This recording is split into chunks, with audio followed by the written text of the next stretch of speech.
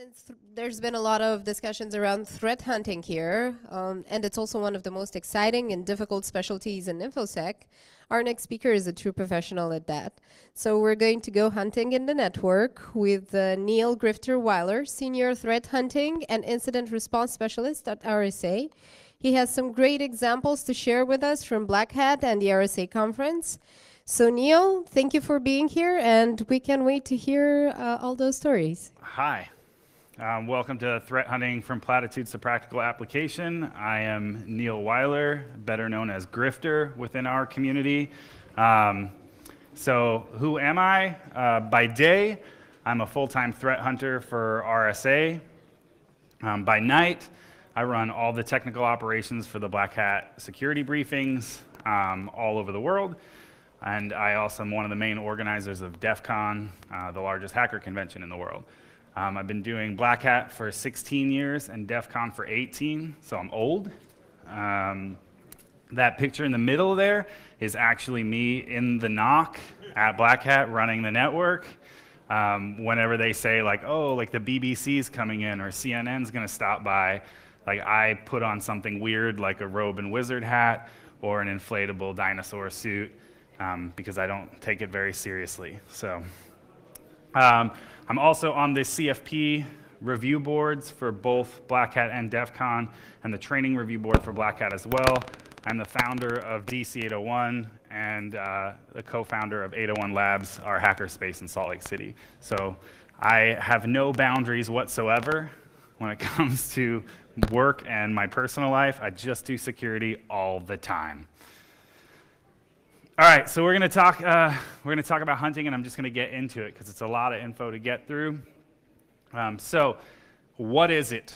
So, beyond just a buzzword that people like to throw out on the floors of conferences like RSA Conference and Black Hat, um, a definition that I've often seen used is proactively searching through data in order to detect threats which have evaded traditional security measures. Well, that's a great definition. What it actually is, is just doing IR before you know you're owned. So it's all the same things. You're doing all the same stuff just before someone tells you, oh, there's some really terrible stuff coming out of your network. So it's up to you to find those things uh, before you end up on the 10 o'clock news. And is it effective? Hell yes, it's effective. And why do I say that? Um, so prior to doing threat hunting full time, I was a member of the uh, RSA CIRC or the EMC RSA CIRC, now Dell. Um, I really don't care whose logo is on my check as long as I get one. Um, but um, I did threat hunting within our CIRC.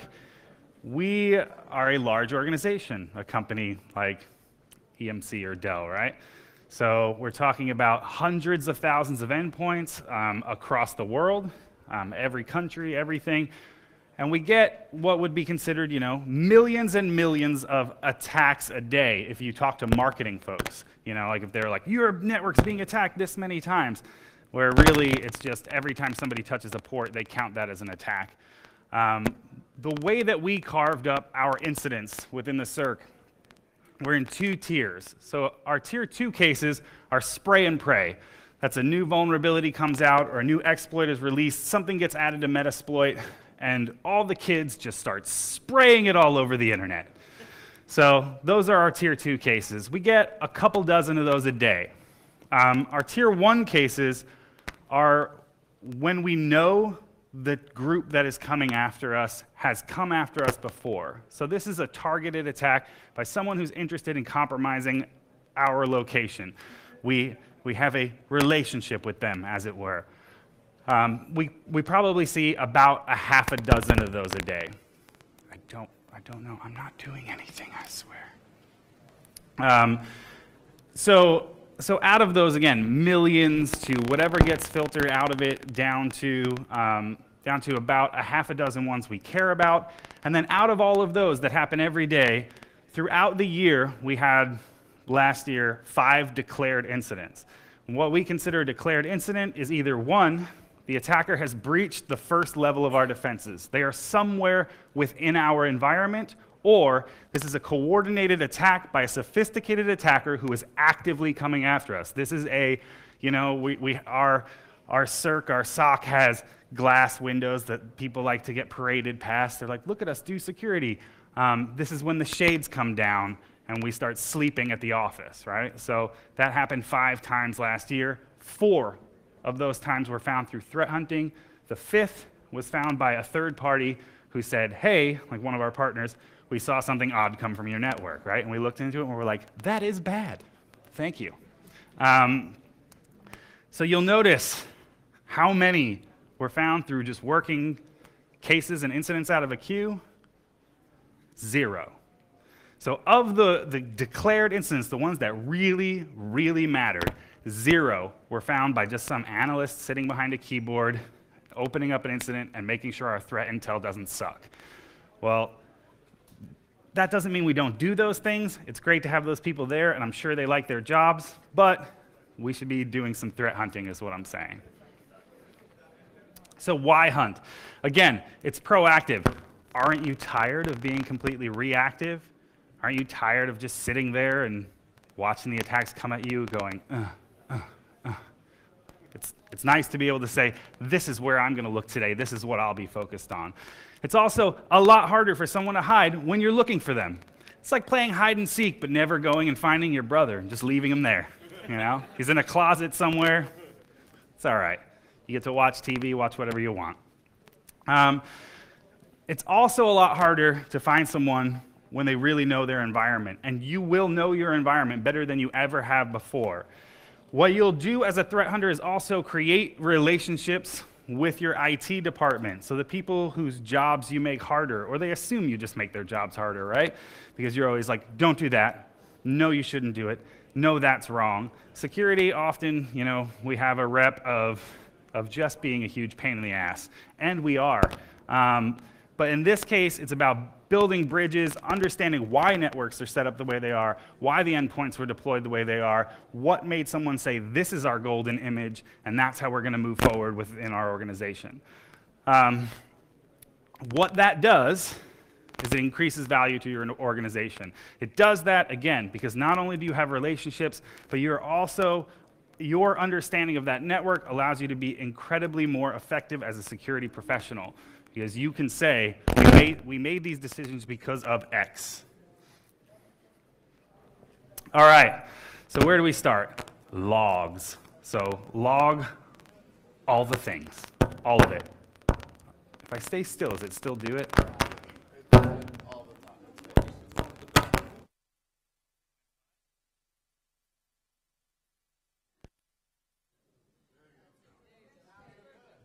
So, all right, collect logs.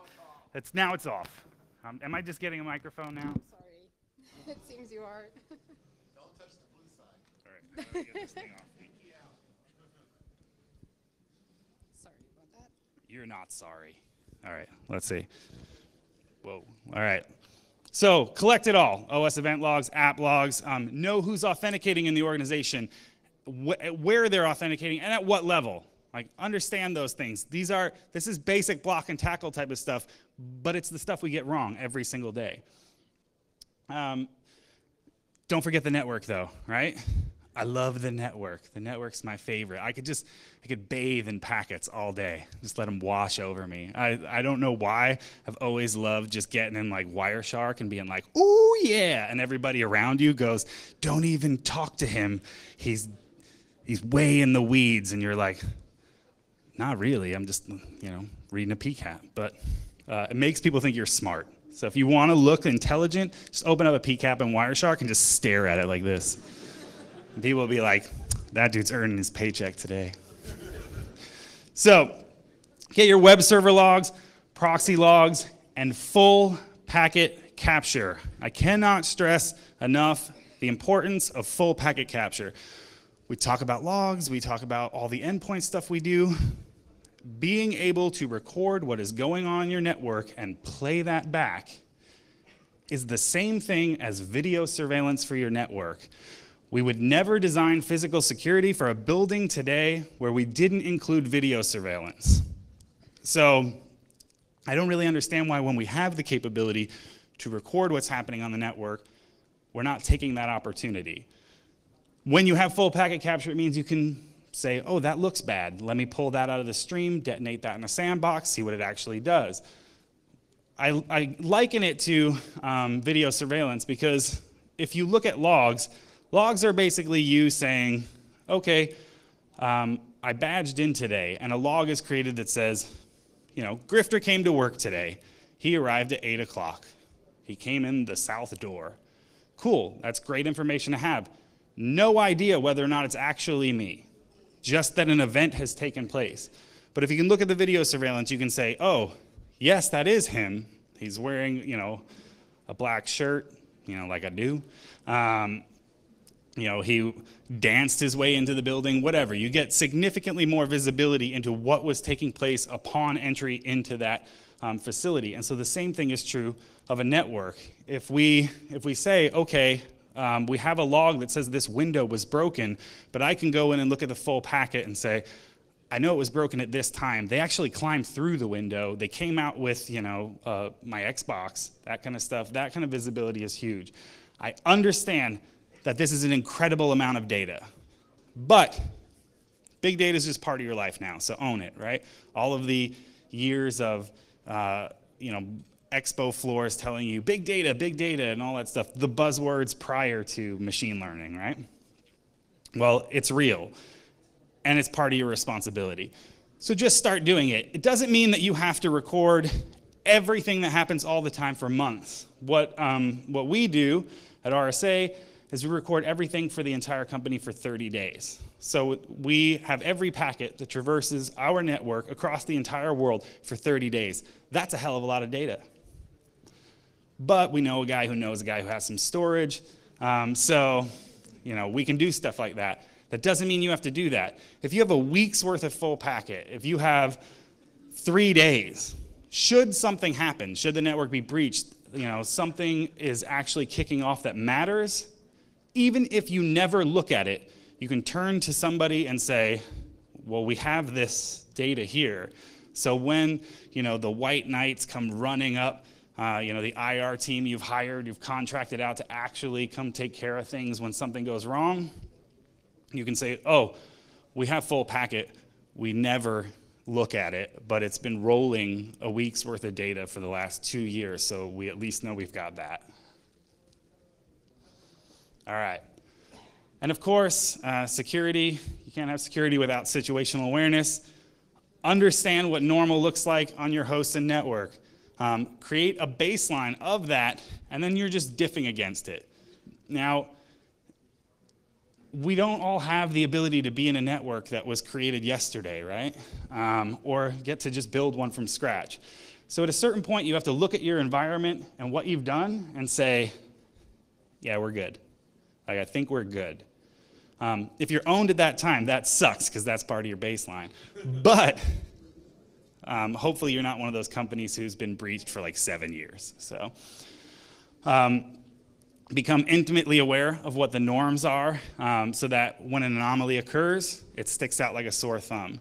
You see that? That's Norm from Cheers. I'm adorable.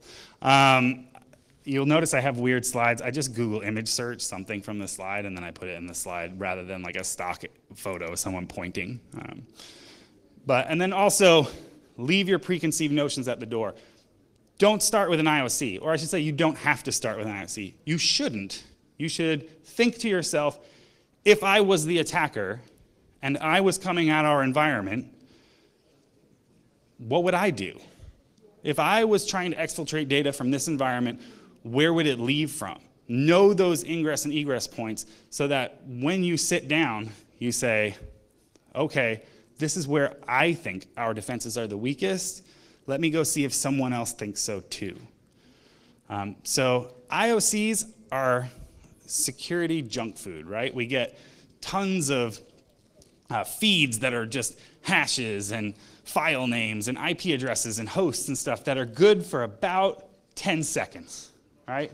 What matters is the behavioral or the things that enable a compromise to take place. So think in those terms. What's going on in the network that enables an attacker to get a stronger foothold within our environment? Let me go see if they're doing that now. All right, and on the host side, again, basic block and tackle. Know what processes are running on your system. Process names, past executables, parent processes. These are, this is not, you know, like uh, shocking things that are going on. Like, oh, oh, I learned this amazing thing at DefCamp. Grifter told us to look at our processes. Like, that's ridiculous. But I can't tell you the number of times that I go in and I say, why the hell is that running? Or what is that? And we look into it, and in fact, it is something bad. Or flat out, the parent process is something that has no business spawning whatever it is I'm looking at or the process name is has a typo in it. You know, I mean things that basic. But look for stuff like process injection, hooking, artifacts in your shim cache. Know what is happening on the host, and again, then just bump against it. Okay, that why is there something new here? Um, when you're looking at things like persistence, look beyond the registry, look beyond run keys. You know, what scheduled tasks are configured on the system and are there services that you didn't create? Typos, blank descriptions, things like that. The path to the binary isn't a normal one.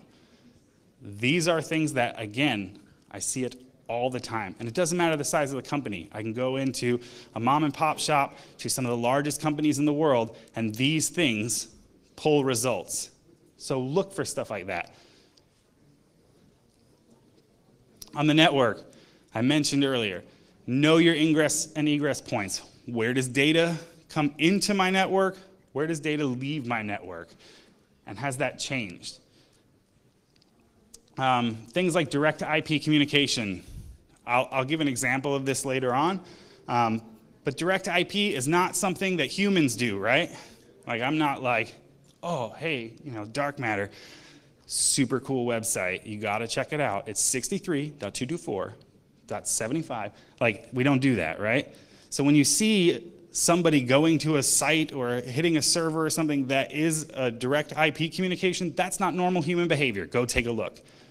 Verify whether or not it's good or bad, whitelist it, move on. And because we like words rather than numbers, um, look for things like dynamic DNS. So attackers will use dynamic DNS all the time um, what I will often find when I'm looking at dynamic DNS services are not somebody using this incredible API that the dynamic DNS company has set up to make it really easy for people. What I find is somebody communicating to their file server at home or their media server and they're streaming, you know, stuff to the office. Um, but it's still a policy violation and you find it, right? So look for things like dynamic DNS, um, Tor traffic. You using Tor? In your work environment? Maybe someone is. If they are and they're not doing something bad, you just made a friend, right? You're like, hey, you're one of us. Like, so if you see something like that, you know, that again, not normal. Pay attention. IRC traffic, same thing. Um, if you see IRC traffic, one of two things are going to happen. You know, one, you know, you're going to see somebody who's, you know, using some ghetto C2, or two, you're going to make a friend because some graybeard Unix admin sitting in a closet somewhere is on IRC like, what, what? And then, you know, and he hates Slack because everybody knows Slack is just a colorful IRC interface. Um, like people think it's like this groundbreaking thing. You're like, you mean IRC chat? You know, like, okay. Um, and then look at your HTTP traffic for things like, you know, anomalies, things like a post with no refer or a post with no get. Again, these are not difficult things. These are looking for things that are happening that the, the protocol doesn't normally do, that a human doesn't do. Um, and, and every time you see one, just marking it down and going, I have to investigate that. Um, and then look for traffic over non-standard ports. Um, I'll show you an example of something we found at Black Hat um, just looking at things over non-standard ports. It seems ridiculous to do something like that because it's so basic, but what we actually find is one, bad guys, um, but two, um, it seems like a lot of security vendors use the things that we would normally, you know, use to hide data to do their own hiding of data. So when they're sending callbacks from your machine to their servers, they're doing it over a non-standard port or they're using a DNS tunnel or something. and you're like, what, Symantec? Come on, man. Um, all right, So the mindset. So the, the mindset of a hunter. I will say too, people are like, oh, who's the right person to hire for my company to be a threat hunter? Is it just somebody that you pick out of the analyst pool or whatever? It's not. What you want is the person who always notices the thing that's slightly wrong or notices the typo in a presentation and says, oh, there's a typo there while you're in the middle of giving your presentation. Or there are two spaces between those two words instead of one. You know that asshole? That's a threat hunter. All right? So they have a, an ability to see something that's just slightly off and they and they call it out. You know, it it just screams at them when they see it on the screen. Um, so when you're actually doing a hunt though, like know what you're looking for, right? Say, oh, today I'm going to hunt for this. Um, I would recommend MITRE's ATT&CK framework if you want to find ideas for things to go look through. Just pull up the ATT&CK framework, pick something, and say, all right, I'm going to go look for that. Try to um, try to match that to what your industry is. If you're healthcare, you know, go look at the APT groups that focus on healthcare and what their tactics are when they attack one of those environments, and then look for that behavior or artifacts of that behavior in your environment. But stay flexible. When you go in and you think, like, okay, this is what I'm looking for, but you see something shiny, and you're like, what was that? That's great, do that. Like, it's okay to say, wait, hold on, that was weird. Just open up another tab, make a note. This was weird. When I'm on a hunt, what I will often do is as I think, see things, I open another tab, I open another tab, I open another tab, I open another tab. And then I'm like, all right, I'm not done today till all the tabs are closed, right? So those are each like a thing that I have to look into. So prepare for the pivots. There will be many, and just roll with it. Um, this is where having ADHD is gonna pay off, right? Like you can't focus on one thing ever. Great, go. Um, so Jason says I didn't put periods on some of them, but one of them has it. And what? See that, that asshole. Um, so I love you. Um, find tools that help you make sense of the data that you've collected. I don't care. I, like I work for a vendor, I don't care if you buy a tool from a vendor. Use something open source if you have the bandwidth to do that. But find tools to help you make sense of that ridiculous amount of data because you're going to need the help. It is a lot of data. And so finding the right way to carve through it um, is incredibly important. If you were here for, um, for Dark Matter's Wi-Fi Cactus um, talk, you know, he talked a lot about making sense of the data once it was collected. Doesn't matter if you have all that data if you do nothing with it. So whether it's open source or something you buy from somebody on an expo hall floor, figure it out, but, um, but get something to help. And then document everything that you're doing and what you've learned, and then share it. Share everything you learn. Um, this should go beyond just threat hunting, but honestly, like threat hunting world is the wild west right now. Everybody's got a different way of doing it or whatever. Great, but you might see something and so you go, oh, well, that, that's a cool way of doing this, but I'm sure other people know that. They don't know it. Stop assuming that the thing you know is already known by others. Write a blog post, write a tweet if you're so inclined whatever it is, get the data out there. Say, oh, this is a cool way. I figured out how to do this. Just put it out there. Um, we need all the help we can get. All right, so what now?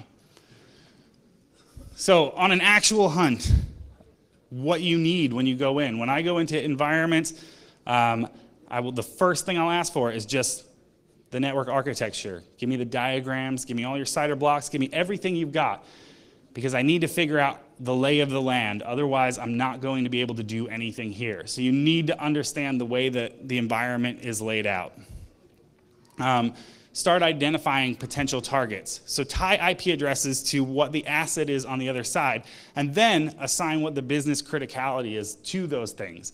If you are not a full-time threat hunter, but you want to do hunting, and there somebody up the chain says, "Okay, we'll give you four hours a week to do hunting," You need to understand where the areas are that are the most important to put that effort, So if you've only got those hours, where, where is your time best spent? Um, focus on directionality. This shouldn't be a difficult thing to understand. Essentially, when you go in, you sit down and you say, Today I'm going to look at only the traffic that's leaving our environment, because that changes what it is that you're looking for. Or, I want to look at everything that's coming in. Or, you know what? Today's a lateral movement day.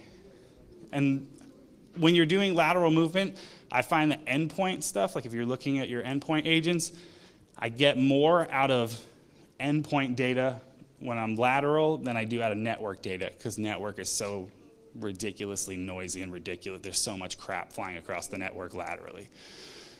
Um, and then determine a time frame. What I'll do, despite whether I have three days, seven days, 14 days, or a month's worth of, of data to look through, I focus on a 24 hour time period. Why? Because it makes it digestible. I can actually do something within that window. And hopefully, if the company's owned, the attacker will have shown their hand at some point, or you know, the C2 traffic has gone out at some point within that 24 hour time period. Then, when I find somebody doing something they shouldn't, or something looks odd, and I'm like, this user or this IP address is doing something anomalous, I will focus on that person and then expand the time frame. So now I'm like, show me everything that user did for the last week. And so at that point, you know, you're, you're beyond your one day, but you're hyper focused on an individual um, event or an individual. Um, then just start looking at protocols. This is all service analysis. So start with the smallest number of sessions is what I'll say. So the smallest number of things that show up. So if you just see a bunch of, you know, outbound RDP, then you're like, all right, well, let me see what that is. And you can do a quick kill on those because there shouldn't be too many.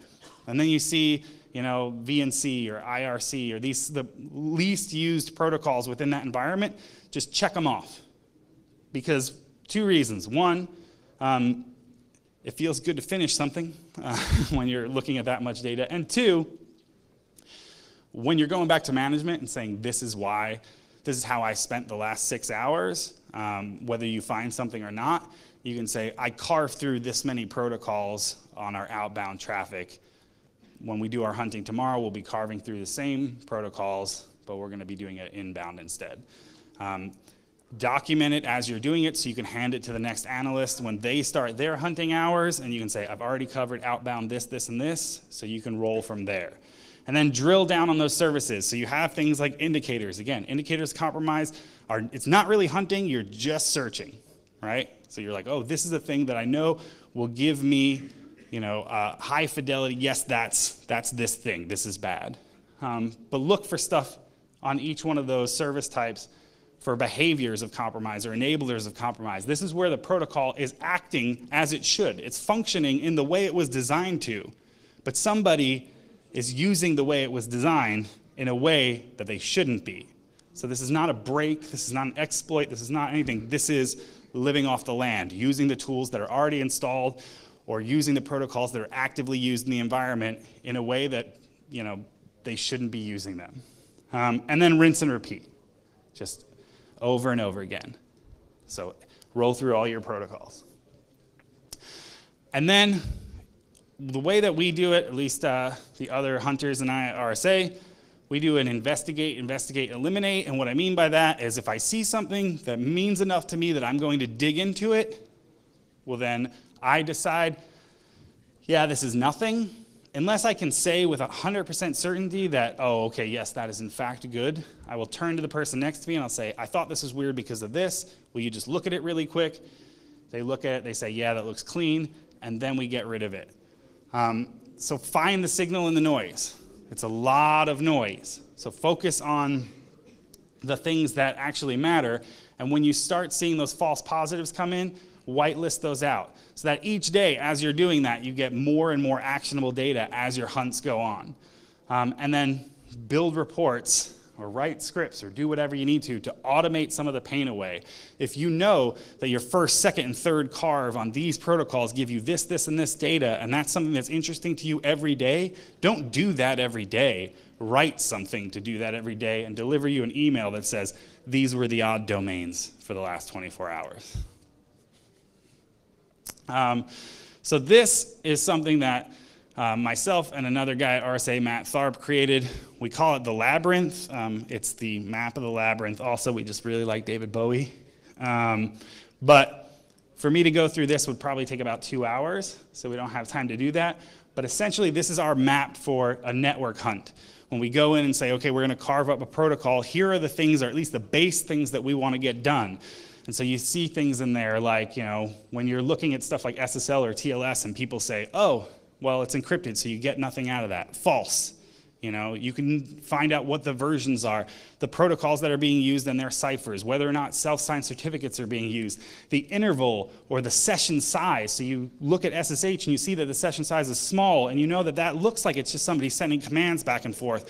Or if it's very large, those are file transfers. Somebody's moving data. So you can still gain visibility into things that you can't see based off of metadata, essentially. Um, if you want to talk about this, we can talk about it later or tomorrow, whatever. All right. So, what do we find? So, this is where I get to do a little bit of show and tell from things that we have found at either Black Hat or the RSA conference. So, I also, um, because I work for RSA, when the RSA conference rolls around, now I get to do hunting within all of the um, traffic at RSA conference as well. It went down kind of like this.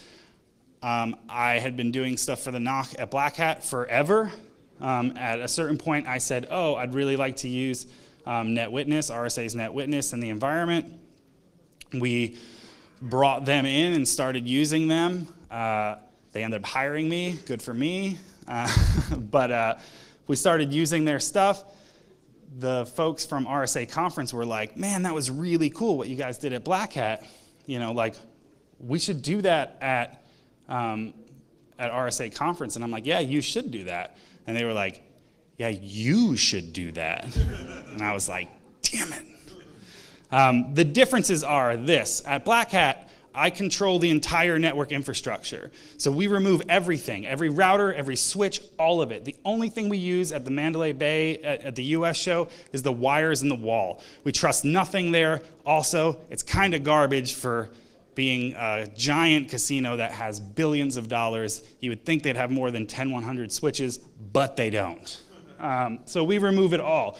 It also allows us to do mitigation. So if something, we see something bad, we can take steps to fix that or you know, actually stop an attack versus at RSA conference where the Moscone Center, where RSA conference is held, they just give us a tap.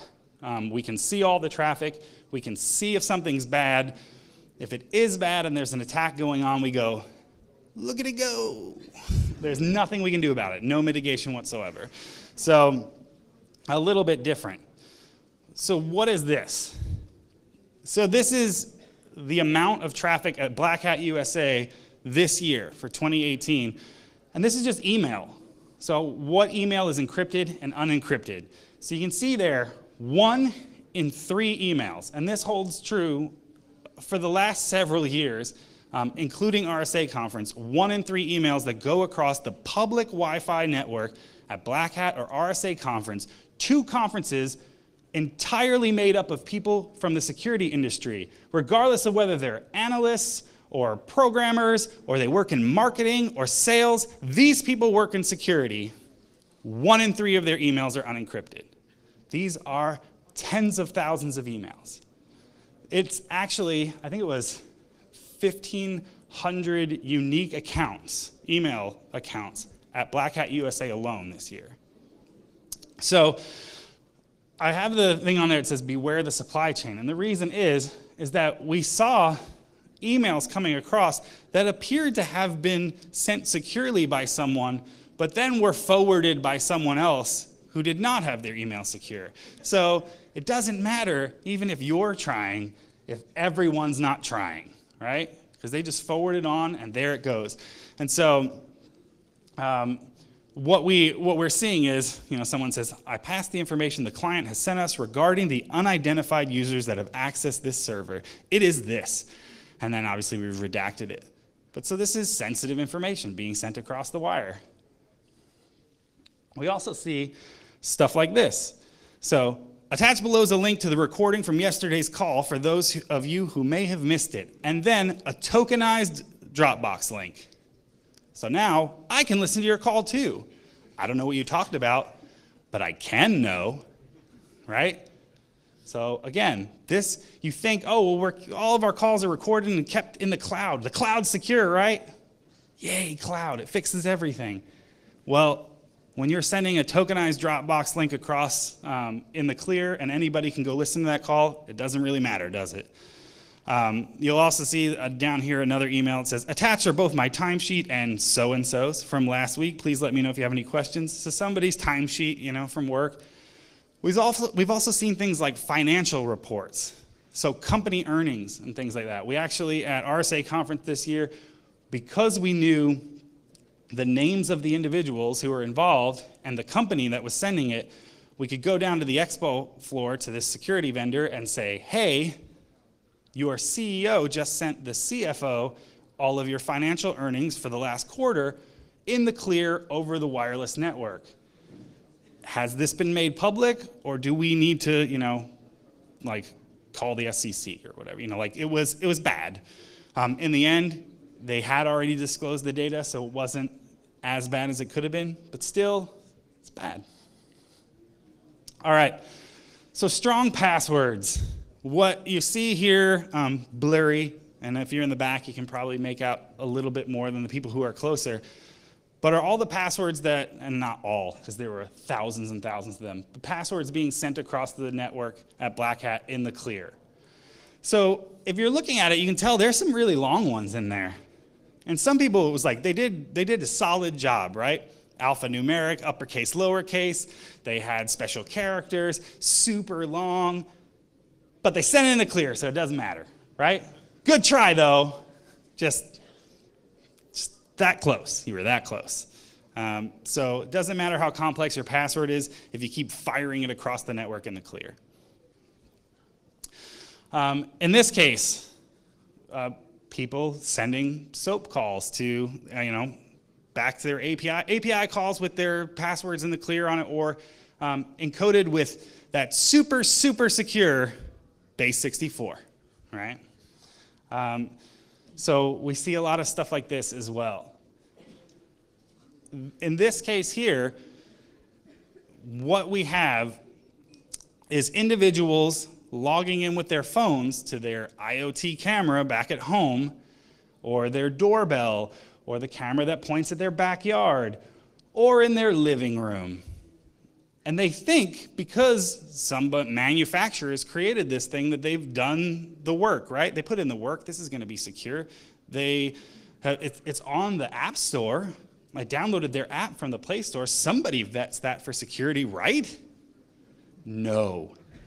Right? So, um, in this particular case, what we saw was folks who were, uh, the authentication piece was actually encrypted.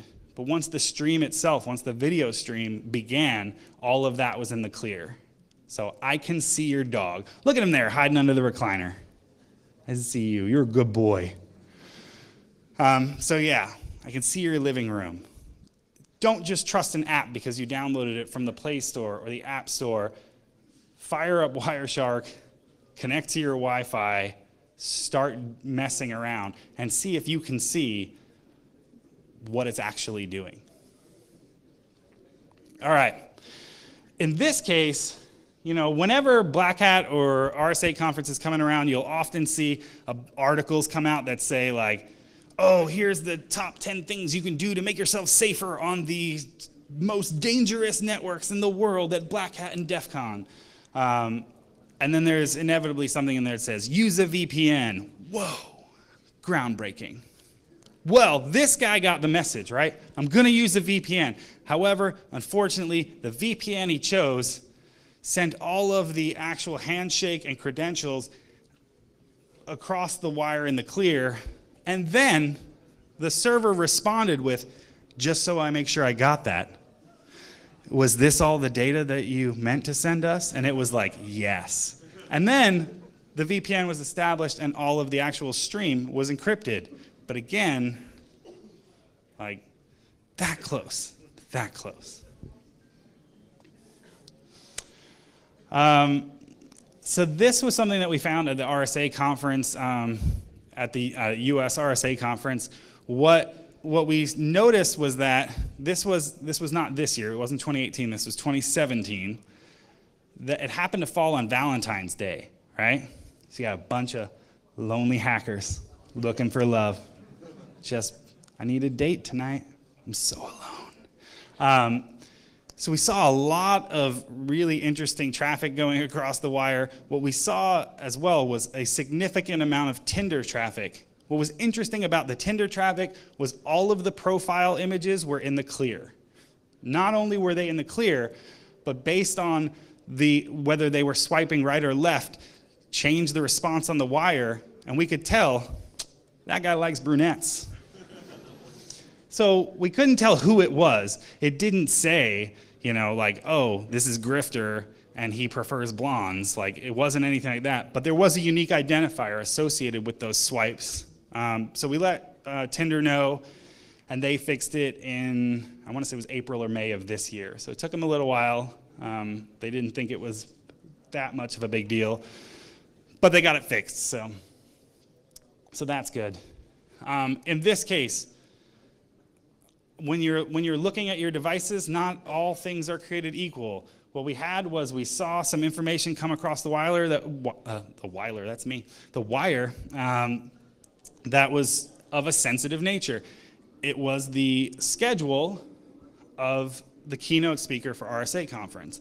His flight and the tail number of the jet, the private jet he was coming in on, um, the limo service, what time they would be there, his schedule for the entire day, the hotel he would be staying at, when he was expected to arrive in different places, all of it was there, right?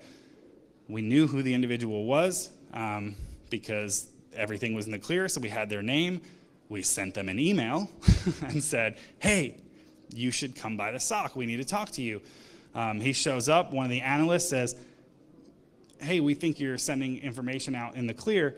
Can I see your phone and see if it's configured correctly to send, you know, email encrypted? And the guy's like, No way. And he's like, Well, here's your password. And we just saw the tail number of so and so's jet. And he was like, Here's my phone. right? He was like, There you go. Take a look. So, um, so everything's fine on the phone. So he's like, Wait, are you using any other devices or things to connect to your servers or anything? he's like, oh yeah, I use my MacBook as well. And he's like, can I see the MacBook? Sure. Pulls out of the backpack, looks at it, one radio button, just one button. And all of the emails that had been leaving from the MacBook were in the clear. So make sure, again, that everything is secure. The, the problem here is always that when you think you're secure and you're not, you know, you're actually more dangerous than if you just believe, someone might see this. When you think, I can do whatever I want because I know everything's secure, you're actually more of a liability. All right, patch management. So this is the top 10 sites with uh, the amount of data transferred at the Black Hat security briefings. What you'll see is number one, Windows Update, two Windows Update, three Windows Update, four Kali Linux. We got one. We got one. Five Windows Update, six Apple updates, seven Windows Update, eight Windows Update, nine Ubuntu, and 10 Office updates. Seriously, guys, just 24 hours sooner, and, and you'd have been great. I'm glad you're patching. I'm glad you're patching. Do it at home, right? Don't wait till you get on the Black Hat Network to go, oh, that's right, should patch my machines. Um, in this case, this was one of the ones where we saw direct to IP traffic, where it was just, okay, there's some direct to IP traffic here, what's going on? Um, we noticed that the 404 pages that were being returned when somebody was um, sending out these requests were of a different size every time they came back. Not, you know, something that could, you know, it, would always be malicious, but it was odd. It's out of the, the ordinary, so we took a look at it. What it ended up being was um, someone had uh, released or, or announced a vulnerability Um, and this is 12 hours later, an active exploit being used for that vulnerability on the Black Hat network. So we're talking about someone had set it from the stage, and in less than a day, it was actively being used on the network at Black Hat. So not a zero day, right? But same day. So, um, all right, and in this case, IRC traffic. So we look at IRC traffic just to see what's going on, right? Um, we see there's a private message from a guy, and he says, "Hey, do you still have that RF pager script? Um, Roto-Rooter has a HackRF now as well. I'm thinking it would be, be worth trying it out at the Luxor." Um, so we have a good working relationship with the MGM, which is the company that owns Mandalay Bay, as well as several other casinos on the Las Vegas Strip.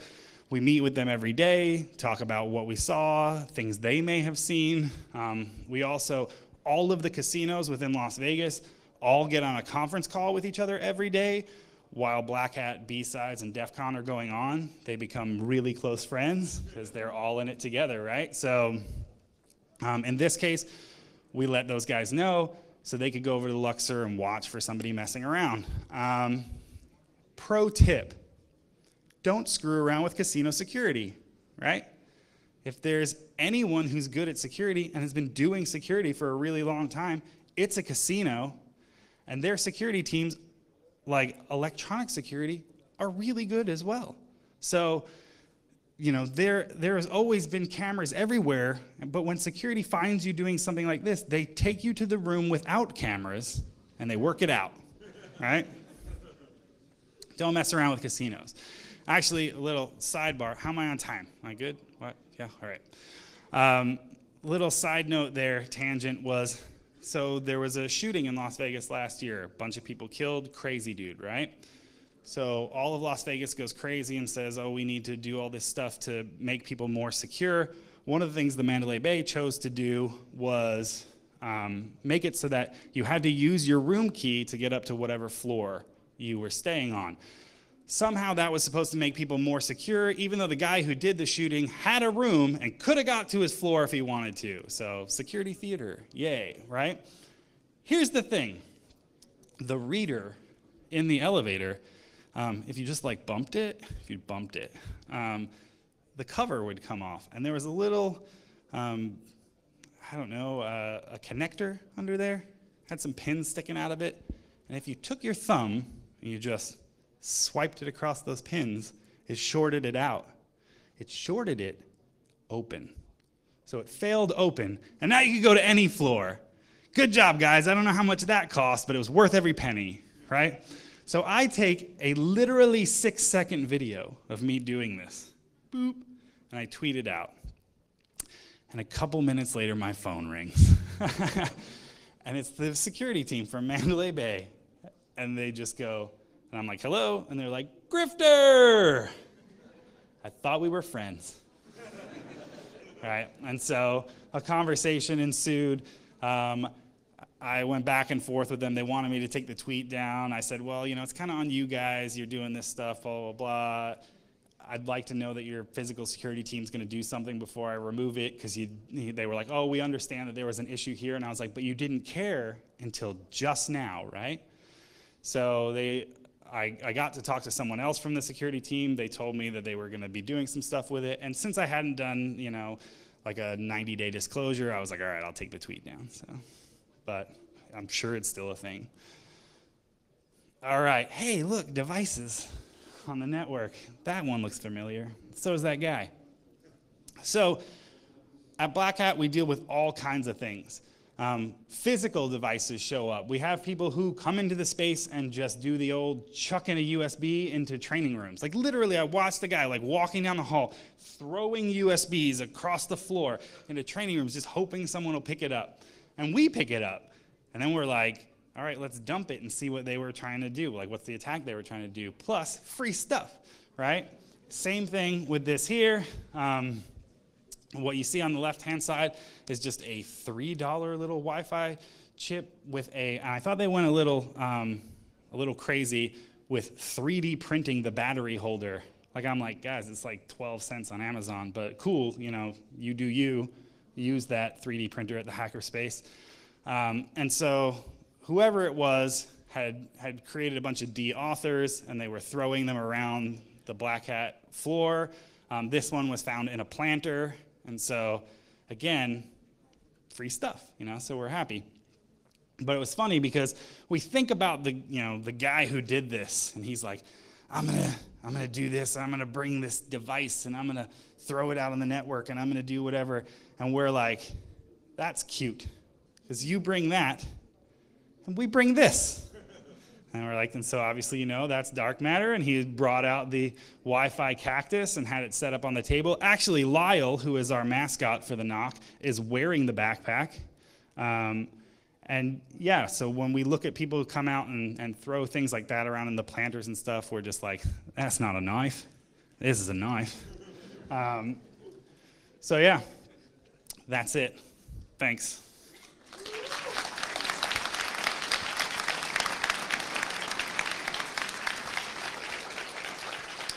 All right, I know I'm, I went five minutes over, so. Absolutely no worries. Thank you so much for that for that presentation. Uh, we're gonna go to questions now, and we have Oh, time for questions, sweet. yes, of course. Okay, let's go. No. Yeah, so when you're threat hunting Yeah. and you need to go to internet browsing, what are your go-to sites? Um, when I are you asking what sites I go to on the internet? Is that No. that's very yeah? I was like, damn, it's got like a real personal, real fast. Um, I guess I should say clarify. How do you mean? Like when we're when we're looking at HTTP traffic, like the stuff that they're sending. I mean, because what I'm essentially looking at in a packet capture is just um, I'm not I don't care about the content.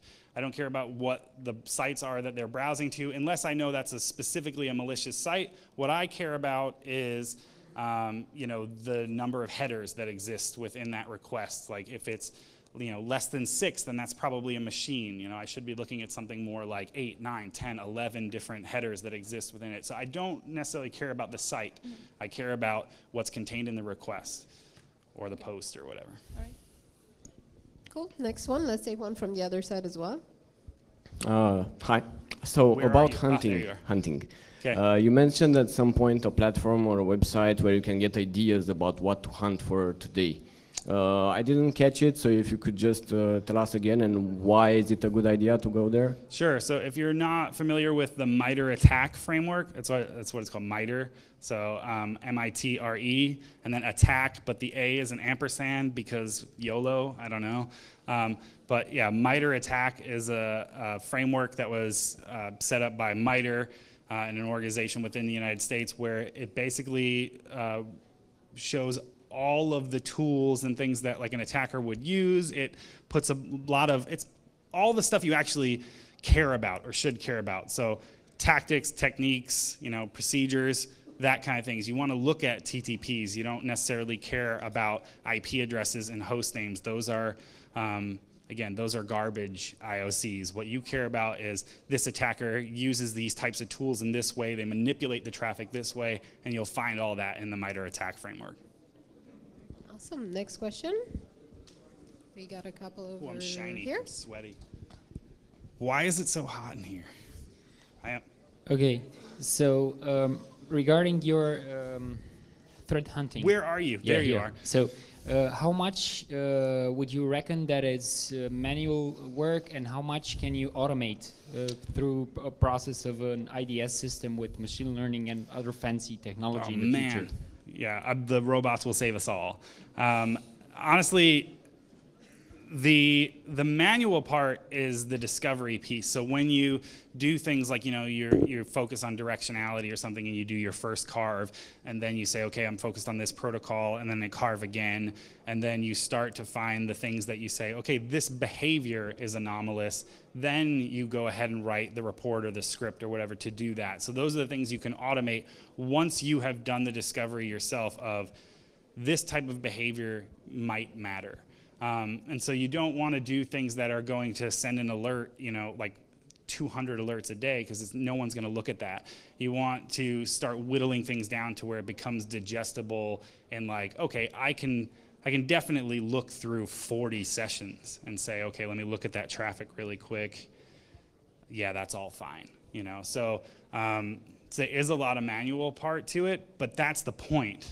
Is that despite all of the blinky boxes and everything that vendors try to sell you, um, to Jason's, uh, referencing back to Jason's point, it, it, Dave is the one who's going to save us, right? Because Dave is the guy who's going to sit behind a keyboard and do the actual hunting. So where some people say that humans are the weakest link, they're also the best thing to do hunting for because we know, like, okay, this this is not how a human behaves, and a machine, at least to date, can't do that. Okay.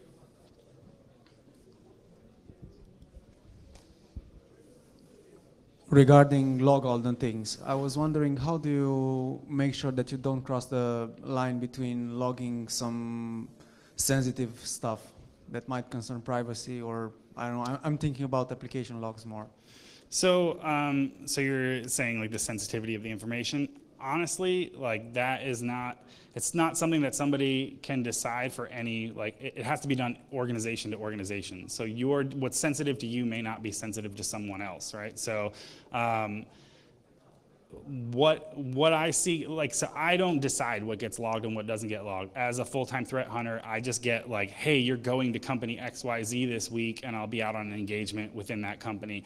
So I don't have control over what they log. I don't have control over what they've captured packet-wise. I just know when I come in, this is the data that I have. Let me carve through it. Um, so it really it's up to them. Like I I I have no like this is the best way to do it. It just depends on the organization what's what's super sensitive to you may not matter to somebody else. Two more questions. Um, about uh, full packet capture, you said that it would be okay to capture even one week or three days, but uh, statistics say that uh, threats can be found in more than a hundred days. Sure. So you're basing your um, recommendation So- on just getting lucky? So what, which is a lot of what what we do is, let's be honest, okay? Like I don't like we should not bullshit each other that a lot of times we just get lucky. Um, so what you're saying is basically an attacker, once they've reached an environment, will often persist for 100 days plus until they're discovered. That's fine. Um, me having that data lets me go look for the things that they're doing. Um, threat hunting is not about stopping the attacker. It's about finding them before they've um, done something really stupid. People will often say things about like, "Oh, the red team." You know, uh, if you're if you're an attacker or whatever, the hackers have it really easy because I I as the blue team guy just have to make a mistake once, right, and then they're in the environment. Well, that flips on its head the moment that person is in the environment, and now the game is my game. So I'm the blue team, and if that attacker messes up once, I find them.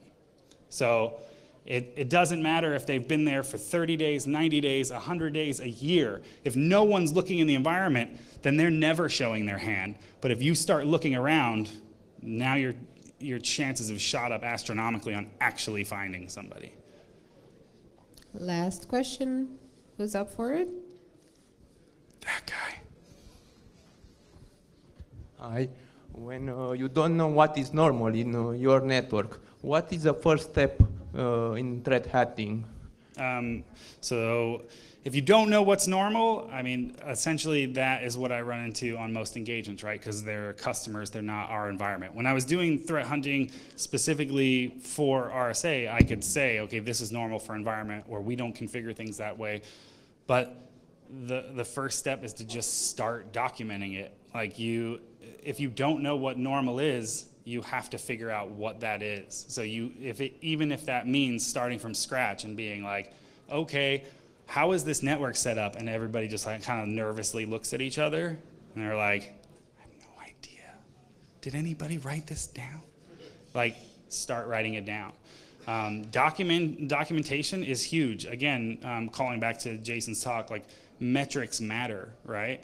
So unless you document the things that matter, um, you have nowhere, you know, nowhere to go. And even if there is no documentation, then well, then great, it can only get better, right? You're at the worst possible place you can be, um, and it's just going to get better from there. And you're going to look like a hero because you're like, look at all the things that I've documented for you all. I'm amazing. I created a wiki. Um, so, cool. Well, thanks again. Thank you.